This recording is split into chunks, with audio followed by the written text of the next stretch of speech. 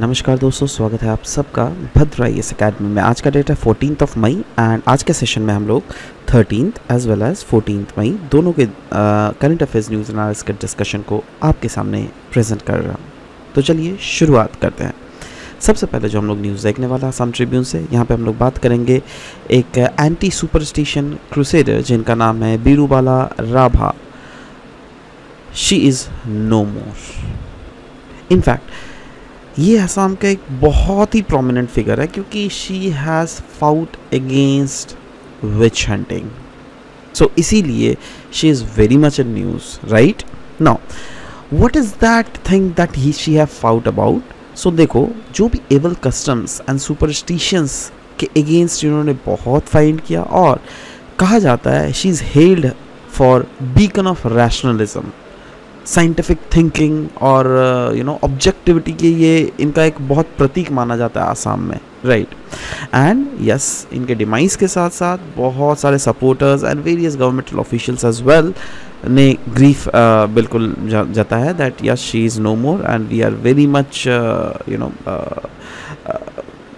sad by knowing this news right so इसलिए भी she is very much important क्योंकि इनको नवाजा गया पद्मश्री अवार्ड से। अब देखिए आप, यहाँ पर हमारे प्रेसिडेंट ऑफ़ इंडिया इनको पद्मश्री दे रहे हैं राइट सो पद्मश्री से तो नवाजा गया ही है बट साथ ही साथ आपको अगर पता होना चाहिए, इनको नॉमिनेट भी किया गया था नोबल पीस प्राइज़ के लिए। भले ही इनको नोबल पीस प्राइज़ मिला नहीं बट नॉमिनेशंस तो हुआ था ना। तो देखो, ये अपने आप में लेकिन बहुत इंपॉर्टेंट टर्म है। नेक्स्ट प्रीलिम्स में ये बहुत ही ज़्यादा इंपॉर्टेंट है, आ ही सकता है आपको राइट है ना?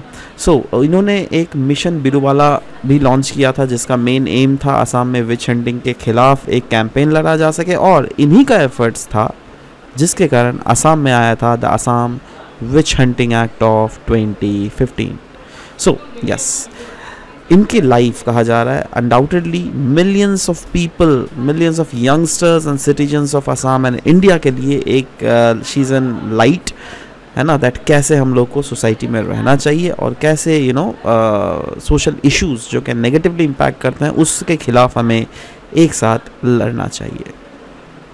नेक्स्ट वेलकम मूव आज के न्यूज़ आर्टिकल में एक आर्टिकल था जहाँ पे लिखा हुआ था Assam state department of water resource जो है, वो डिब्रूगढ़ में स्पर्स का कंस्ट्रक्शन कर रही है।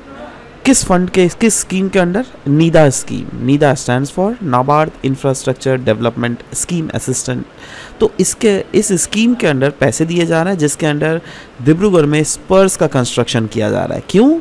जिससे फ्लड और सॉइल इरोजन के इंटेंसिटी को घटाया जा सके। तो सबसे पहले तो हम लोग डिस्कस करेंगे स्पर्स होता क्या है? उसके बाद आप समझोगे दैट कैसे स्पर्स का कंस्ट्रक्शन करने से डिब्रूगढ़ में जो फ्लड्स एंड सॉइल इरोजन से नेगेटिव इम्पैक्ट हो रहा है, उसको घटाया जा सके। तो चलो देखते हैं। देखो, ये जैसे देख रहे हो this is what this is river का channel can you see that now river का चैनल में इस टाइप के जब भी स्ट्रक्चर्स बनाए जाते हैं ना इनको इनको और इनको right these are called spurs ये करते क्या है ये जो है मोशन ऑफ़ दिस रिवर को ये रोकता है स्पर्स ठीक है सो so, अब मोशन ऑफ़ रिवर्स को रोकने से क्या होगा? दैट देखो, पहले अगर ये स्पर्स नहीं होता तो क्या करता है? ये रिवर जो है, इस बैंक्स को इरोड करता रहता ना धीरे धीरे इरोड करता रहता करता रहता करता रहता।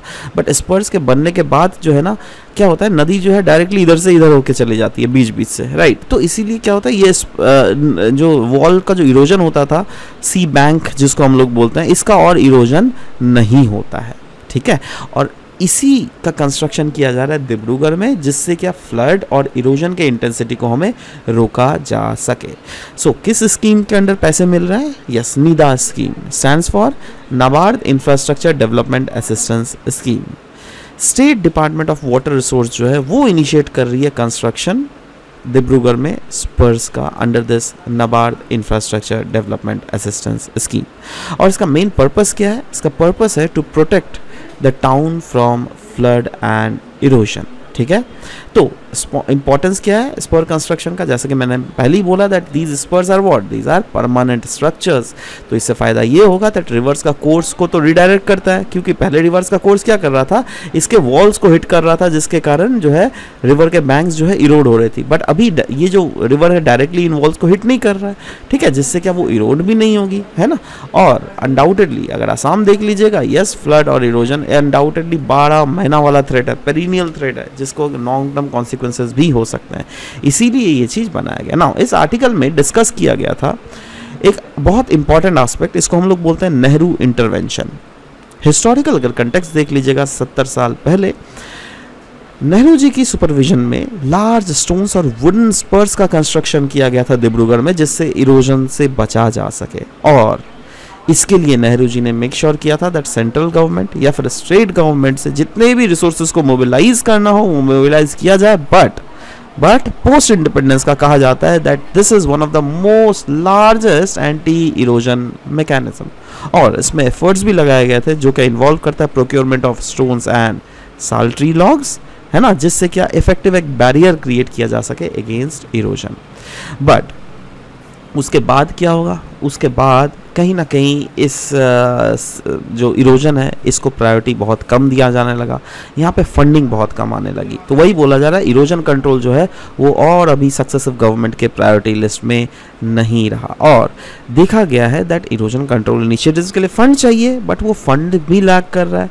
इनफैक्ट बोला तो ये जाता है दैट स्टेट का सेवन परसेंट जो लैंड मास है ना that has been lost due to erosion and yet it has not received adequate attention from the central government. Seven percent can you imagine this ये बह गया है already Brahmaputra ने सात परसेंट जो लैंड मास स्टेट का लैंड मास है, उसको बहा दिया है ओशंस में.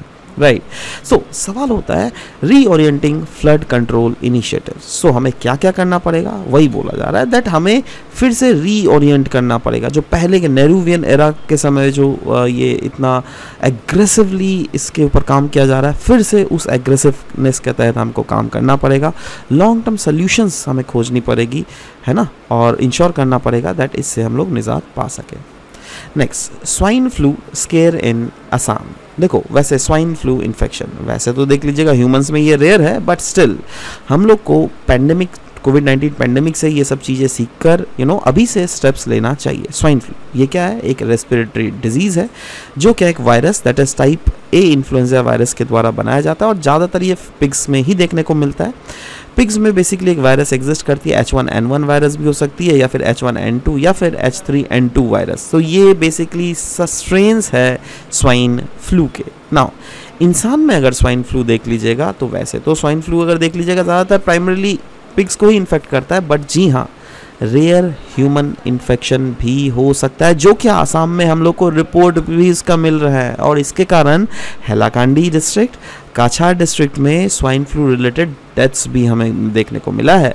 तो अनडाउटेडली अभी एडमिनिस्ट्रेशन को काफ़ी ज़्यादा एक्टिव हो जाना पड़ेगा। और वही बोला जा रहा है variant flu virus and risk बोला जा रहा है when a virus that typically spread among pigs infect human it is termed as variant flu virus जी हाँ ये भी अपने आप में, देखो, एक की टर्म मिल गया ना आपको दैट कोई भी वायरस जो क्या पिग्स में इन्फेक्ट होता है बट वो अगर इन्फेक्ट करता है ह्यूमन को तो उसको हम लोग वेरिएंट फ्लू वायरस बोलते हैं राइट और लोग जो है at higher risk of developing serious variant flu complications और इनमें कौन कौन से लोग ज़्यादा वलनरेबल है? वो है children under five years of age है ना? वैसे इंडिविजुअल जो कि अब बूढ़े बुज़ुर्ग है that is sixty five years है अबव वाले लोग प्रेग्नेंट वुमेन और जिनके ऑलरेडी तबीयत ख़राब है ऑलरेडी क्रॉनिक हेल्थ कंडीशंस है yes they are also in danger of this तो इसकी ट्रांसमिशन और सिम्टम्स कैसे होती है? तो देखो, ये ह्यूमन इन्फेक्शन जो होता है ना ऑफ़ स्वाइन फ्लू वायरस ये अकर करता है through direct contact with infected pigs कैसे? पिग्स जब भी कफ स्नीज करते हैं ना, और अगर ह्यूमन सामने है राइट तो ह्यूमन को इम्पैक्ट कर सकता है, जिसके कारण ह्यूमंस में भी फ्लू फीवर टायरनेट शोर थ्रोट कफिंग रनिंग नोज़ ये सब चीज़ें हो सकती है। तो सवाल होता है, इसका प्रिवेंशन और प्रिकॉशंस क्या है भाई? चलो डिस्कस करते हैं। देखो प्रिकॉशन में क्या है ना, जैसे ये, इसका पहले तो देखते हैं स्प्रेड होता कैसे देखो स्प्रेड जो होता है ना पर्सन से पर्सन वो जैसे से फॉर एग्जांपल पर्सन ए को हो गया पर्सन ए के सामने आप हो। अब ये पर्सन क्या करेगा, अगर छीकेगा, जैसे कोविड नाइन्टीन में नहीं होता था वैसे ही तो वैसे आपको हो सकता है। इसलिए प्रिकॉशन में हम लोग क्या कर सकते हैं मास्क पहन सकते हैं फ्रीक्वेंटली हैंड वॉशिंग कर सकते हैं अवॉइड कर सकते हैं contact with any sick pigs या फिर वैक्सीनेशन हम लोग प्रोवाइड कर सकते हैं against seasonal flu right next again Assam Tribune का आर्टिकल है, यहाँ पे हम लोग बात करेंगे इंडिया का टेक्नोलॉजिकल ओडिसी ये कल के आर्टिकल में था और मुझे लगा दैट बहुत इंपॉर्टेंट है। क्यों इंपॉर्टेंट है? क्योंकि देखो, कभी भी अगर टेक्नोलॉजिकल फ्रंट में कोई भी क्वेश्चन आ रहा है तो यस इससे आप डायरेक्टली पॉइंट्स उठा के लिख सकते हो। जैसे, बोला जा रहा है दैट इंडिया का जो जर्नी है ना फ्रॉम ट्रेडिशनल इकोनॉमी ट्रेडिशनल मतलब क्या? हम लोग पहले क्या? एग्रीकल्चर इकोनॉमी थे। बट अभी क्या है, हम लोग दुनिया का डिजिटल पावर हाउस है। तो ये एक कहीं ना कहीं दुनिया भर के लिए एक टेस्टामेंट है। एक प्रूफ है that yes India is resilient India is adaptable और India has the top notch quality of entrepreneurial spirit historical अगर फाउंडेशंस की बात करें of Indian technology yes contributions कहीं ना कहीं हम लोग को देखने को मिला mathematics astronomy as well as medicine में। राइट और कंटेम्प्रेरी अगर टाइम्स में देख लीजिएगा यस इकोनॉमिक रिफॉर्म्स हमें देखने को मिल रहा है ग्लोबलाइजेशन हमको देखने को मिल रहा है। तो ये क्या हो रहा है? दैट पहले तो हम लोग मैथमेटिक्स एस्ट्रोनॉमी मेडिसिन इन सब में आगे थे बट अभी के समय में जब से इकोनॉमिक रिफॉर्म आया ग्लोबलाइजेशन आया, तब से देखने को मिल रहा है दैट चीज़ें बिल्कुल बदल रही है। अगर देख लो सक्सेसिव गवर्नमेंट्स में हम लोगों ने फाइव ईयर प्लान्स देखा था, अभी नीति आयोग आया है राइट तो कहीं ना कहीं इन्फेसिस पहले से ही था साइंटिफिक रिसर्च में। इनफैक्ट हमारे देश में इंसेप्शन हुआ बड़े बड़े कॉलेजेस जैसे आईआईटीज़ का technological institute of fundamental research का एटॉमिक एनर्जी कमीशंस का। स्पेस एक्सप्लोरेशन में देख लीजिएगा, हम लोग कितने आगे 1975 में हम लोगों ने आर्यभट्ट को लॉन्च किया। गया था? तब तो जस्ट एंट्री हुआ था बट अभी इसरो ने फाइनली 2013 में हम लोगों ने मार्स ऑर्बिटल मिशन पहले अटेम्प्ट में सक्सेसफुल लैंडिंग इन मार्स तो सोच लो can you imagine this is huge right वैसे ही अगर साइंटिफिक माइलस्टोन्स की बात करें यस जेनेटिक साइंस में हम लोग कितना आगे निकल गए हैं, जिसमें DNA finger printing you know क्या क्या नहीं हो रहा है। मोबाइल रिवॉल्यूशन की अगर बात करें, जैसे 4G सर्विसेज़ का लॉन्च हुआ तब से दुनिया का वन ऑफ़ द हब बन गया है इंडिया जहाँ पर स्मार्टफ़ोन स्मार्टफ़ोन मैन्युफैक्चर होती है। वैसे ही आईटी सेक्टर्स की अगर बात करें yes emergence has global IT service destination in the year 1990s जी हाँ इन 1990s के बाद से इंडिया एक ग्लोबल आईटी सर्विसेज़ है, क्योंकि हम लोग दुनिया को अपने आईटी सर्विसेज़ दे रहे हैं, अपने के पी सर्विसेज़ दे रहे हैं नॉलेज प्रोसेसिंग आउटसोर्सिंग दे रहे हैं। राइट तो क्या क्या नहीं दे रहे हैं भाई? लिबरलाइजेशन पॉलिसी ने कहीं ना कहीं अट्रैक्ट किया है फॉरेन इन्वेस्टमेंट को, और हमें देखने को मिल रहा है दैट हमारे देश में ही इंडिजिनस टेक जायंट्स भी आ रहे हैं राइट इनफैक्ट बैंगलोर क्या बोला जाता है? Silicon Valley of India Silicon Valley of course है यूएसए में राइट बट इंडिया का सिलिकॉन वैली इंडिया का एक ऐसा रीजन जहाँ पे which is a hub of you know technology yes that is Bangalore digital inclusion में क्या क्या है यस yes. कहीं ना कहीं ई कॉमर्स के सेक्टर में हम लोगों ने ग्रो किया है डिजिटल पेमेंट्स ऑनलाइन सर्विसेज़ देख लीजिए, हर सेक्टर में हम लोगों ने ग्रो किया है यूपीआई का रोल देख लीजिए डिजिटल वॉलेट का रोल देख लीजिए क्या पहले यूपीआई था, अभी देखो आप एक वेंडर को भी पैसे दे रहे हो तो यूपीआई में देते हैं लोग राइट. तो ये सब क्या है? These are changes that we are observing Aadhaar system अगर देख लीजिएगा, इसने एक कैटलिस्ट के तरह काम किया इन सर्विस डिलीवरी जिससे क्या इंडिया में जो डिजिटल ट्रांजिशन है, और भी फास्ट ट्रैक हो गया है। कोई भी गवर्नमेंट सर्विस कोई भी सब्सिडीज देख लीजिएगा yes everything is link to Aadhaar right जिससे प्रोसेस स्ट्रीमलाइन हुई है एफिशिएंसी इन्हांस हुई है ट्रांसपेरेंसी और साथ ही साथ अकाउंटेबिलिटी भी बढ़ा है। और इसी के साथ, इन्हीं सब चीज़ों के बाद हम लोगों को देखने को मिल रहा है दैट हर सेक्टर ऑफ़ टेक्नोलॉजिकल फंड में यस इंडिया आगे बढ़ रहा है। इंडिया का एफर्ट अगर देख लीजिएगा आर्टिफिशियल इंटेलिजेंस ब्लॉकचेन और इंटरनेट ऑफ़ थिंग्स में यस आगे तो है ही बट साथ ही साथ गवर्नमेंट इनिशिएटिव जैसे national artificial intelligence strategy digital India mission में देख लीजिएगा कितना आगे निकल गया है फाइव टेक्नोलॉजी और भारत नेट प्रोजेक्ट की अगर बात करें यस कहीं ना कहीं पोटेंशियल तो है फाइव टेक्नोलॉजी का दैट हाँ ट्रांसफॉर्म कर सकता है कनेक्टिविटी और इंडस्ट्रीज़ को जो कि अभी धीरे धीरे हो भी रहा है। और यही तो भारत नेट का एम क्या था? उसका एम था दैट हमारे देश में जो अर्बन और रूरल डिवाइड एग्जिस्ट कर रहा है, इस अर्बन रूरल डिवाइड को फिलअप करना। और वही तो चीज़ बोला जा रहा है that 5G technology Bharat net ये सब भी तो यही चीज़ को ब्रिज कर रही है। तो सस्टेनेबल डेवलपमेंट रिन्यूएबल एनर्जी में हम लोगों ने क्या किया यस आप देख लीजिए इलेक्ट्रिक व्हीकल कितना अडॉप्ट हो रहा है। कुछ दिन पहले ही यू नो गुवाहाटी देख लीजिएगा ग्रीन ग्रीन कलर का बस चल रहा है है ना? तो रिन्यूएबल एनर्जी का तो एडॉप्शन कर ही रहा है बट साथ ही साथ इंश्योर किया जा रहा है दैट सोलर विंड और different other renewable energy sectors में इन्वेस्टमेंट जारी रहना चाहिए। टेक्नोलॉजिकल इनोवेशन अगर आसाम में बात करें यस आसाम में भी पॉलिसीज़ जैसे आसाम स्टार्टअप पॉलिसी ये क्या इंश्योर करती है? एंटरप्रेन्योरशिप को? Right establishment of semiconductor manufacturing plant in north east what is this ये तो काइट ऑफ़ यही दिख रहा है ना दैट इंडिया के साथ साथ नॉर्थ ईस्ट जो कि बहुत पीछे था पहले, अभी नॉर्थ ईस्ट भी हम भी किसी से कम नहीं। है ना? तो वही है, जैसे बोला जाता है ना, मेरी हमारी बेटी छोड़ो से कम है के तो वैसे ही हमारा north east different other state से कम है के, वही चीज़ हो गया है, ठीक है? So transition from traditional economy to digital powerhouse undoubted यही इस आर्टिकल का थीम था दैट कैसे इंडिया जो ट्रेडिशनल इकोनॉमी जैसे नॉर्मल ज़्यादातर एग्रीकल्चर और मैन्युफैक्चरिंग में डिपेंड था। अभी क्या है? एग्रीकल्चर तो है ही, वो तो बढ़ ही रहा है बट साथ ही साथ मैन्युफैक्चरिंग में भी हम लोग को ग्रोथ देखने को मिल रहा है मेक इन इंडिया इनिशिएटिव के बाद। और खैर अगर सर्विस सेक्टर की बात करें तो माशाल्लाह उसमें तो कितना ही हम लोग आगे बढ़ रहे हैं। ठीक है? So these are the things that we have got from this article next हम लोग बात करेंगे एक अगेन एक इंपॉर्टेंट आर्टिकल में। इसके बाद में ये है बेहाली रिज़र्व फॉरेस्ट के बारे में। और बोला जा रहा है दैट अरुणाचल प्रदेश से जो है, इस बेहाली रिज़र्व फॉरेस्ट का बायोडाइवर्सिटी धीरे धीरे ख़त्म हो रहा है। Right right. और सवाल होता है बेहाली रिज़र्व फॉरेस्ट कहाँ है? क्या ये आसाम में है या अरुणाचल में? तो जी हाँ इसका सही आंसर है ये है आसाम में। तो सवाल होता है अरुणाचल से लोग कैसे इस रीजन को इंक्रोच कर रहे हैं? देखो पहले इसका लोकेशन दिखाता हूँ। This is India is that clear India में जो ये रेड दिख रहा है ना व्हाट इज़ दिस आसाम ठीक है? सो so, ये आसाम है। और आसाम के ऊपर कौन सा स्टेट uh, लाई कर रहा है? Yes we know that Assam के ऊपर लाई कर रहा है हमारा अरुणाचल ठीक है? अब देखो अरुणाचल ये वाला can you see that this can you see this green वाला पैच रुको मैं इसको मिटा दे रहा हूँ ज़्यादा तब चीज़ें अच्छे से क्लियर होंगी। या अब देखो ये जो ग्रीन वाला पैच दिख रहा है ना what is this this is that Behali reserve forest right ये विश्वनाथ डिस्ट्रिक्ट में है ये ये देखो विश्वनाथ राइट right? और इसका कैन यू सी दैट ये वाला can you see this right इसी का देखो जो मैग्नीफाइड uh, वर्जन है वो ये है। मतलब इसके ऊपर क्या है? अरुणाचल प्रदेश और इसके नीचे क्या है? आसाम। राइट अब देखो, यहाँ पे क्या हो रहा है ना, आपको पता है दैट आसाम और अरुणाचल प्रदेश के बीच में कुछ कुछ बॉर्डर डिस्प्यूट्स है ना? तो अभी क्या हो रहा है, यहाँ के लोग क्या कर रहे हैं, इस रीजन में इंक्रोच करना चाहते हैं। समझ लो और यहाँ पर बेहाली रिज़र्व फॉरेस्ट है।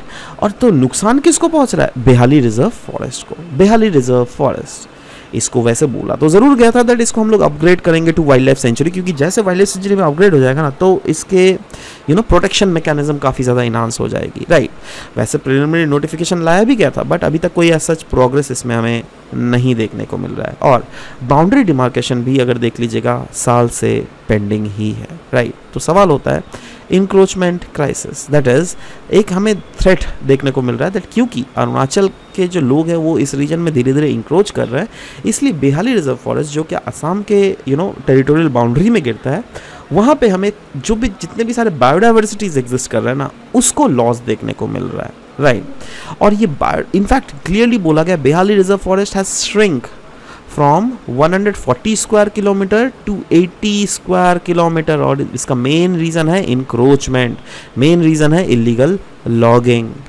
राइट सो वही बोला जा रहा है दैट कंजर्वेशन एंड एफर्ट्स क्या क्या किया जाना चाहिए? देखो, बोला जा रहा है लोकल कंजर्वेशनिस्ट जो है, ये विटनेस कर रहे हैं numerous instances of tree felling by encroacher जो अब लोकल जो लोग हैं, अब देखो से फॉर एग्जांपल आप कंजर्वेशनिस्ट हो राइट आप मैक्सिमम पुलिस को फ़ोन करोगे, तब तक ये लोग भाग भी जाएँगे। है ना? सो इनएडिक्वेट मैन पावर और लॉजिस्टिक कहीं ना कहीं इस रीजन में है। मतलब लोग और भी ज़्यादा पुलिस फोर्स यहाँ पे चाहिए जिससे क्या ये लोग चीज़ों को रेगुलेट कर सके। इसके कारण क्या होता है? कंजर्वेशन एफर्ट्स में हमें रोक देखने को मिल रहा है। बोला जा रहा है अर्जेंट नीड है for the trained armed guards और additional camps in the strategic locations मतलब urgently there is a need हमको मेक श्योर sure करना पड़ेगा दैट इस रीजन में आर्म्ड गार्ड्स को डिप्लॉय करना पड़ेगा। है ना? और ज़्यादा से ज़्यादा कैंप्स भी बैठाने पड़ेंगे जहाँ पे ये गाम गार्ड जो है धीरे धीरे रखवाली कर सके इस रीजन का। तभी हम लोग मेक श्योर कर सकते हैं दैट यहाँ की जो बायोडाइवर्सिटी थ्रेट है, उसको हम लोग रिड्यूस कर सकते हैं राइट तो बायोडाइवर्सिटी में भी क्या है? मतलब मेनली या तो फ्लोरा या फिर फोना मत दैट इज़ या तो ट्री के स्पीशीज़ प्लांट के स्पीशीज़ या फिर एनिमल के स्पीशीज़ उसमें भी अगर देख लीजिएगा रफली अराउंड नेटिव प्लांट स्पीशीज़ की अगर बात करें 308 नेटिव प्लांट स्पीशीज़ है। है ना, जो क्या बहुत बेहाली रिज़र्व पॉलिसी तो बहुत ज़्यादा ऐसे हैं जो कि एंडेमिक है वहाँ के। मतलब सिर्फ़ और सिर्फ़ वहीं पे मिलता है, आपको कहीं पे नहीं मिलता है। तो अनडाउटेडली जहाँ पर भी एंडेमिसिटी जहाँ पर होती है, वही आप लोगों ने शायद ये इन्वायरमेंट इकोलॉजी में भी पढ़ा होगा दैट जहाँ पर भी एंडेमिसिटी ज़्यादा होती है, वहाँ की बायोडाइवर्सिटी बहुत रिच होती है। Right right. तो चलो, ये तो हो गया floral quality about faunal quality उसमें भी देख लो कि मैमल्स जिसमें एलिफेंट टाइगर लेपर्ड और डिफरेंट अदर प्राइमेट स्पीशीज़ भी आपको देखने को मिल रहे हैं। Diverse avian reptilian and insect species आपको इस रीजन में देखने को मिल रहे हैं। तो वही बोला जा रहा है दैट एक अर्जेंट इंटरवेंशन हमें करना पड़ेगा, है ना? Which is the need of the hour and इस अर्जेंट इंटरवेंशन से क्या होगा? दैट हम लोग सेफ़ गार्ड कर सकते हैं आसाम के बायोडाइवर्सिटी को और ऑफ़ कोर्स आसाम का बायोडाइवर्सिटी अगर सेव होगा तो फ्यूचर में पोटेंशियल जो हम लोग बोल रहे हैं that you know wild life tourism को प्रमोट किया जा सकता है तो वो ऑटोमेटिकली प्रमोशन भी होगा right so this was all about the discussion that we had for this very session आशा करता हूँ दैट आपको इन आर्टिकल से एक इंपॉर्टेंट लाइट मिला होगा as to what are the issues that are been going on Assam पर से right so this was all about the discussion that we had मिलते हैं नेक्स्ट सेशन में. Till then bye take care